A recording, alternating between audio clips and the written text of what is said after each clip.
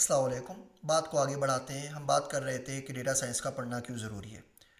Artificial intelligence robotic process automation जिसको हम RPA कहते हैं, ये अगले दस सालों के अंदर 2030 तक, अगले नौ सालों के अंदर, तकरीबन आठ करोड़ जॉब्स को ख़त्म कर देंगी। गूगल ने, मैंने पहले भी आपसे ज़िक्र किया था कि कोरिया जापान से तकरीबन सैकड़ों लोगों को निकाल दिया। वो ट्रांसलेशन का काम करते थे एड्स के अंदर। वो सारा का सारा काम कंप्यूटर से संभाल लिया है। आप जी पी टी थ्री को देखें, मैंने ए आई के कोर्स के अंदर उस पर डिटेल में बात की है। उस एक अलगोरथम का इम्पैक्ट जो जॉब मार्केट पे दुनिया पे आएगा, वो तकरीबन सत्रह बिलियन डॉलर कैलकुलेट किया गया है। इतने सारे लोगों को नौकरी से निकाल देगा। जहाँ ए आई आठ करोड़ जॉब्स को ख़त्म करेगी, वहीं पे ए आई चार से छः करोड़ जॉब छः से नौ करोड़ जॉब क्रिएट भी करेगी। लेकिन तमाम के लिए आपको इमर्जिंग टेक्नोलॉजीज़ आनी चाहिए। आपको मालूम हो डेटा साइंस क्या है आर्टिफिशियल इंटेलिजेंस क्या है ब्लॉकचेन क्या है साइबर सिक्योरिटी क्या है डेवऑप्स क्या है डिजिटल मार्केटिंग क्या है? अगर ये चीज़ें आपको आती होंगी, इसमें से सब दो, चार या कम अज़ कम एक तो आगे जॉब का चांस बनता है। अदरवाइज़ मामला बहुत बुरा नज़र आ रहा है। दुनिया के चौहत्तर फ़ीसद जो प्रोग्रामर्स होते हैं, वो सेल्फ टॉट होते हैं। यानी उन्होंने किसी यूनिवर्सिटी से नहीं सीखी होती, घर पर बैठ के खुद ही सीख ली होती है।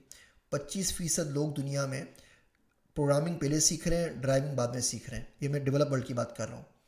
ग्यारह फ़ीसद लोगों ने प्रोग्रामिंग सीखी चार साल से ग्यारह साल की उम्र के दरमियान। और हमारे पास लोग सवाल पूछते हैं कि जी मैं बच्चों को कंप्यूटर साइंस पढ़ाना शुरू करूँ या नहीं करूँ? मेरा बच्चा पंद्रह साल का है, आपको लगता है कि उसको आईपैड दिला देना चाहिए? ओ भाई, दुनिया आना कंप्यूटर साइंस सीख के फेंक चुकी है इस उम्र तक, जब हम सोच रहे होते हैं कि बच्चे को कंप्यूटर पर एक्सेस देना या नहीं देना। मैंने आपसे पहले बात अर्ज़ की थी कि अगर ग्लोबल लिटरेसी 86 परसेंट के ऊपर है अभी। अगर लिटरेट का मतलब हम ये ये लें कि बंदा अपना नाम अपने हाथ से लिख सके।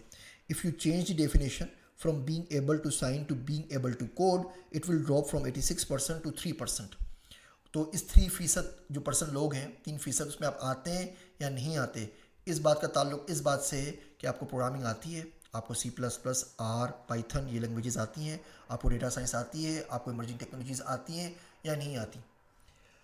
हर 25 में से जो भी आठ जॉब्स हैं, उसके अंदर प्रोग्रामिंग चाहिए होती है कहीं ना कहीं, और ये इंक्रीज़ करके सत्रह फ़ीसद, सत्रह सत्रह पे चली जाएँगी। इसका मतलब तकरीबन तकरीबन पिचहत्तर फ़ीसद जॉब्स जो 2030 के बाद आ रही होंगी, उसमें कंप्यूटर साइंस एक लाजमी जुज़ होगा।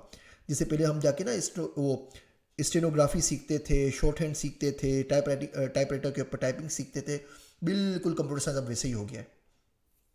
जॉब मार्केट की जो ग्रोथ है जिसमें कंप्यूटर स्किल्स चाहिए, वो बारह फ़ीसद के हिसाब से ईयर ओवर ईयर रेस कर रही है, बढ़ रही है। एक बंदा जिसके पास कोडिंग स्किल्स हो, वो एक आम बंदे के मुकाबले में जिसके पास कोडिंग स्किल्स ना हो, बाईस फ़ीसद ज़्यादा कमाता है। इसी बात को कि मज़ीद डेटा साइंस सीखना वाली क्यों ज़रूरी है? अगले लेक्चर में आगे बढ़ाते हैं।